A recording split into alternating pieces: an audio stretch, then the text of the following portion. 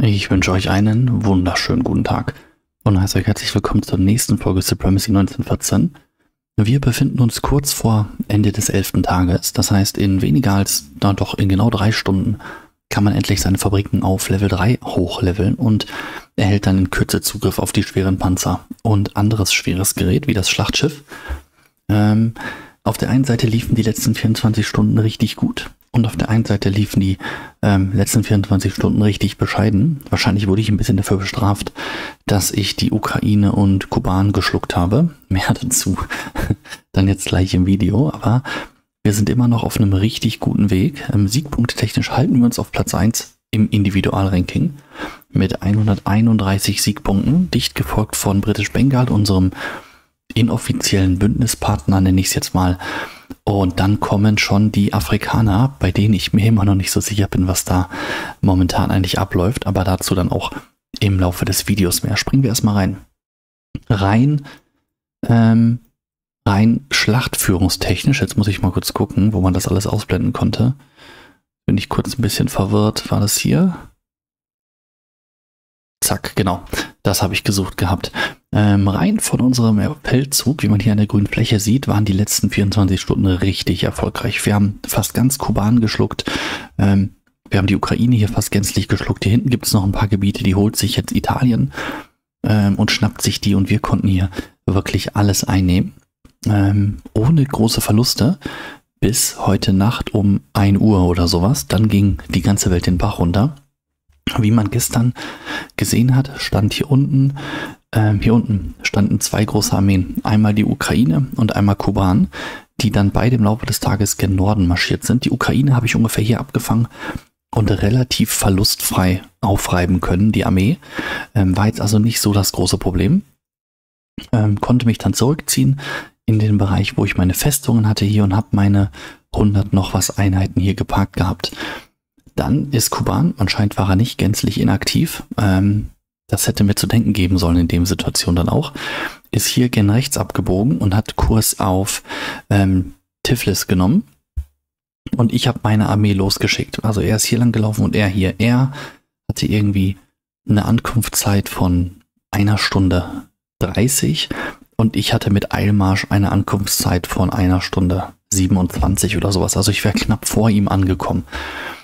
Hab mich also relativ sicher gefühlt, weil ich hier auch eine Festung drin hatte, dass ich vor ihm ankomme. Hier war auch nur eine einzige Infanterie drin stationiert. Also nichts, was ihn hätte aufhalten können, bis ich ankomme. Und dann bin ich schlafen gegangen. Mit der Überzeugung, dass ich das hinkriege. Augenscheinlich war mein Gegner nicht inaktiv und hat das Game noch nicht aufgegeben. Und er hat ähm, den Trick genutzt, den wahrscheinlich die allermeisten von euch kennen. Falls ihr den nicht kennt, äh, dann mal kurz aufpassen. Wenn ihr beispielsweise mit der Einheit das Gebiet hier angreift und ähm, ihr seht ja, wie lange ich brauche, bis ich da bin. Da steht jetzt hier unten rechts, da steht jetzt eine Stunde elf Minuten.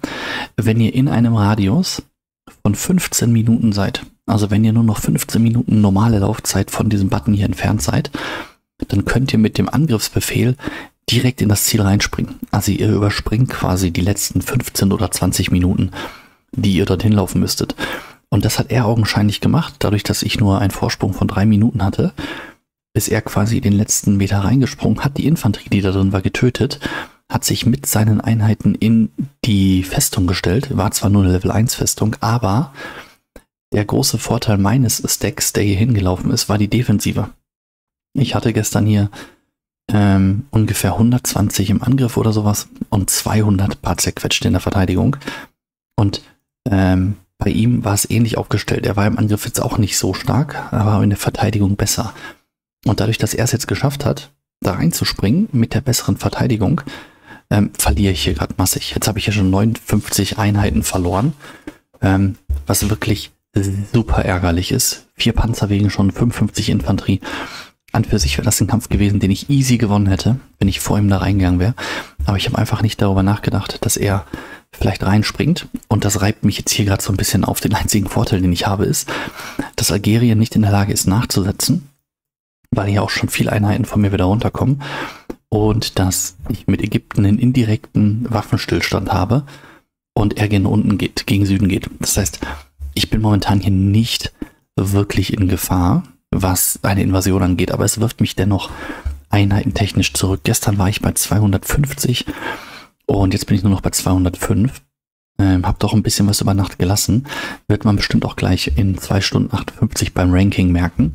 Ähm, ist ein bisschen, bisschen ärgerlich gelaufen. Ansonsten haben wir hier natürlich alle Hauptstädte eingenommen, alles irgendwie gesichert. Moraltechnisch sieht jetzt momentan bei uns nicht so rosig aus mit, wo ist meine durchschnittliche Ländermoral? Müsste die hier nicht irgendwo stehen? Bin ich blind? Steht hier nicht sonst immer irgendwo? Ach hier, 80. Oh, es geht ja sogar noch mit 80 Prozent. Ich dachte, es wäre schlechter. Ähm, haben wir hier alles eingenommen. Ich bin jetzt gerade dabei, hier so die letzten und hier die letzten Dinge einzunehmen. Den Rest hier lassen wir alles Italien, damit er hier auch noch ein bisschen wachsen kann. Und dann geht's an die Vorbereitung. Den Krieg aller Wahrscheinlichkeit nach wieder gen Süden zu tragen. Ähm, ich hoffe, dass das halbwegs funktioniert. Wir müssen mal gucken, wie sich am Ende des Tages jetzt Ägypten positionieren wird. Ich kann mir ehrlich gesagt immer noch nicht vorstellen, dass er sich auf unsere Seite schlägt. Das wäre eigentlich wie Selbstmord für ihn, da ja ein Großteil seiner Ländereien hier sind und die das wahrscheinlich einfach schlucken würden und er lediglich hier irgendwie so ein halbwegs sicheres, sicheres Pflaster hat. Ich bin mir auch nicht sicher, wie das mit Bengal läuft. Ähm, sorry, meine Tür klackert hier gerade, weil mein Fenster auf ist, weil wir sind Durchzug haben. Ich hoffe, das stört nicht zu sehr. Ähm, ein riesengroßes Land, riesengroße ähm, Fläche, ressourcentechnisch weiß ich nicht, was er hat. Aber ich glaube, er baut tatsächlich gerade nur eine einzige Fabrik auf Level 2 aus. Ah ne, hier auch. Okay, hier baut er wenigstens mal eine Artillerie. Ja, also auf jeden Fall schwere waffentechnisch noch sehr dünn aufgestellt. Man darf natürlich nicht vergessen, wir sind jetzt an Tag 11. Ab Tag 8 kann man die Fabriken bauen. Die erste Fabrik ist dann an Tag 9,5 fertig. Oder sowas. Und dann kann man eine Artillerie bauen, die braucht drei Tage. Das heißt, wenn er nicht geboostet hat, ist das sogar ähm, das realistische Ergebnis. Ne? Und wir haben jetzt inzwischen, dadurch, dass ich durchs Werbung gucken hier die Fabriken immer so ein bisschen weiter pushen konnte und ich mal fleißig, fleißig, fleißig Werbung schaue und meine täglichen Booster hier reinjage, haben wir, glaube ich, jetzt insgesamt schon fünf Artis auf dem Schlachtfeld. Ja, genau. Fünf Artillerien auf dem Schlachtfeld, die jetzt alle in naher Zukunft hier unten ankommen. Hier stehen schon zwei, hier kommt eine, da kommt noch eine an und da kommt noch eine.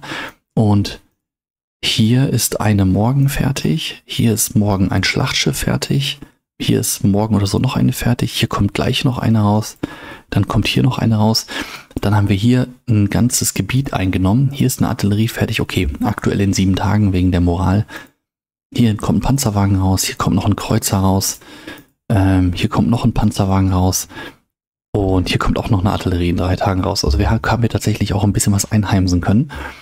Ähm, sodass wir dann ein bisschen Boost bekommen und ich wahrscheinlich so in den nächsten zwei, drei Tagen hier geschmeidige zehn Artilleries mindestens haben werde, die hier den Gegnern ordentlich was vor Latz knallen.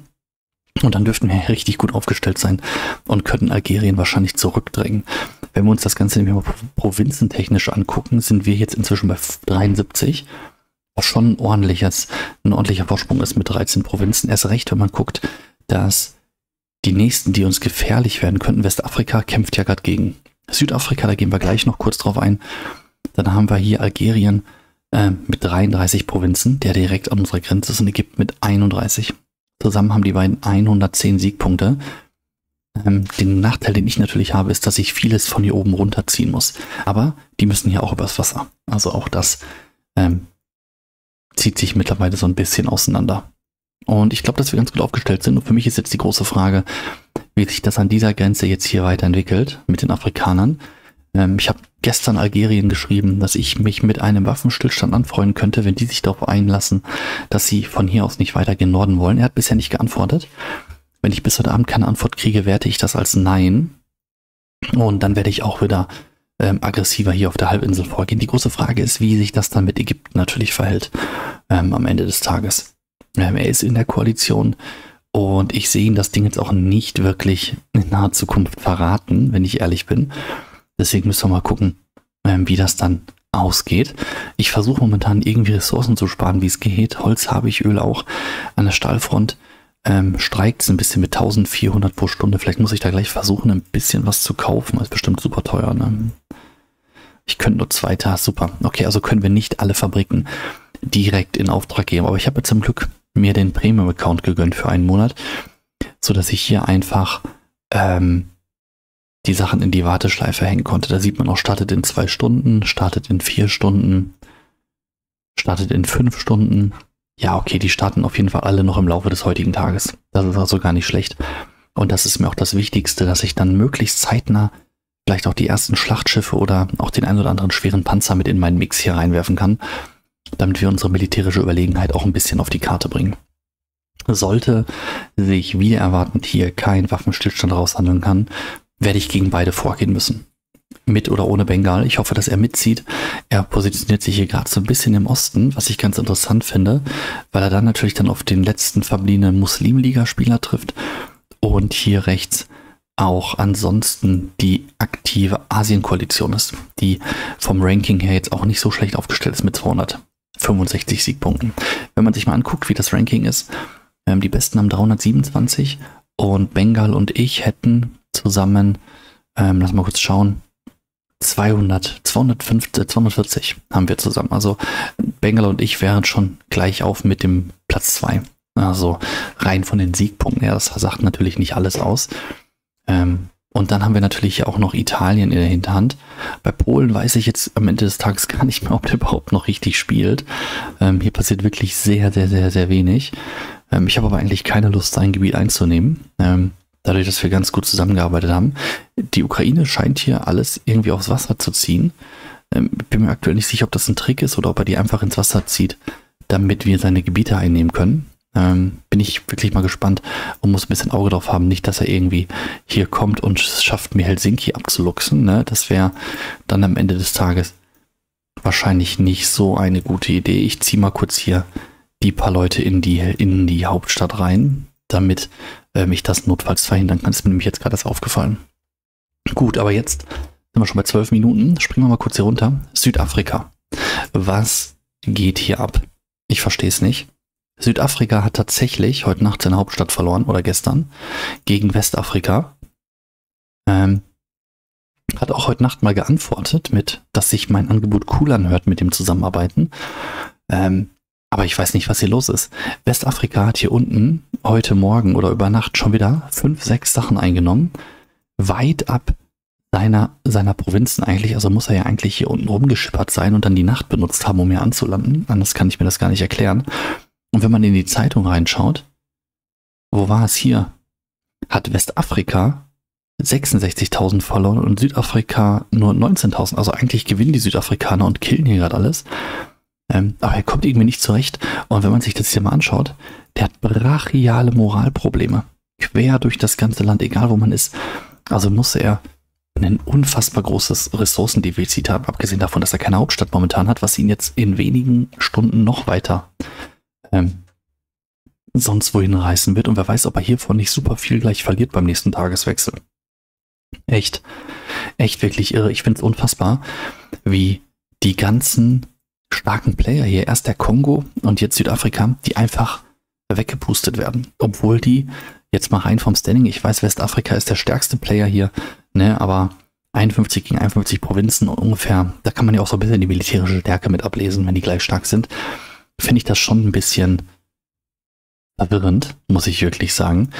Und der letzte Player, der mich jetzt so ein bisschen auch noch verwirrt, bei dem ich nicht wirklich weiß, was hier eigentlich los ist, ist Nigeria der relativ inaktiv auf mich wirkt. Ich sehe auch nirgendwo Truppen von ihm hier irgendwie rumlaufen.